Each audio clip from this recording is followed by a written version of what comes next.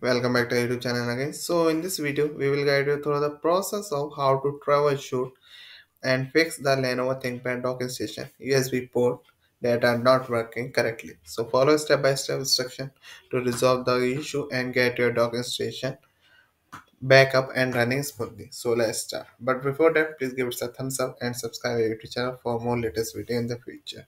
Now let's begin. So here the first solution we have to take an ensure latest dock and USB and videos driver are installed. Check for the latest dock driver, Intel USB 3.0 controller driver and Intel USD driver.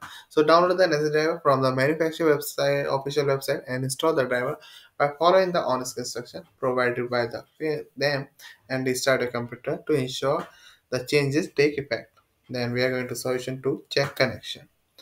Ensure all cables connecting the docking station to your laptop and peripheral are securely plugged in. Then check for any visible damage or wear on the cables. Verify that the docking station is receiving power. Then disconnect the and reconnect the all device connecting to the docking station and now try using a different USB port on the docking station to rule out any port specific issue then test each USB port with a known working device to confirm that functioning properly. So now we are going to solution third. Reset the docking station. First we have to power up the laptop, then disconnect it from the docking station, and now we have to also unplug the docking station from the power sources. Then wait for a few minutes to allow any residual power to drain. And now reconnect the docking station to the power sources. Then power on your laptop and reconnect it to the docking station. Then USB the test USB port on the docking station to see if they are now functioning properly or not. So now we are going to solution 4. Update your USB drive. First we have to open device manager by pressing window plus X and now in device manager we have to locate the USB device under universal serial bus controller like these are the and expand them and now right click on the each device excluding null printer so and select update driver like i'm showing you how you can do the first you have to this and then update driver and then choose search automatically for driver software and to allow windows to find and install the latest usb driver. If windows doesn't find a new driver visit the device manufacturer website to manually download and install the updated driver. Follow their instruction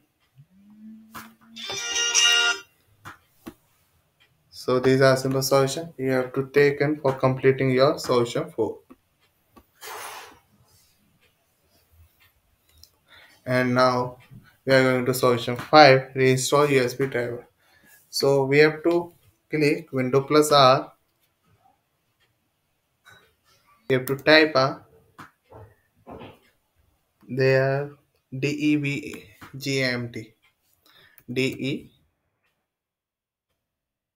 V G M T D E V M G M T dot MSC and now hit the enter button. Then you have to find in the device manager expand universal serial bus controller. Scroll down, you have to find this.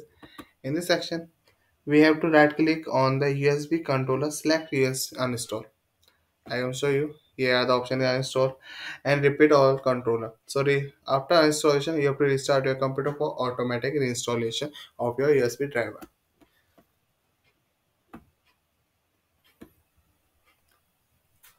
So these are simple solutions you have to take it when you tackle the problem of your Lenovo USB port not working properly. Thank you for watching our video. I hope you like it and we will catch you in a next video.